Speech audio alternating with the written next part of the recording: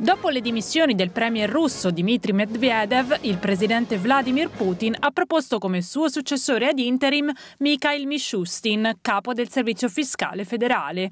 Eccolo al suo primo incontro con i deputati della Duma, il Parlamento russo, che dovrebbero confermarlo come nuovo primo ministro. Medvedev e tutta la sua squadra di governo si sono dimessi in blocco dopo che Putin ha annunciato una riforma costituzionale per la redistribuzione dei poteri tra presidenza, esecutivo e Parlamento.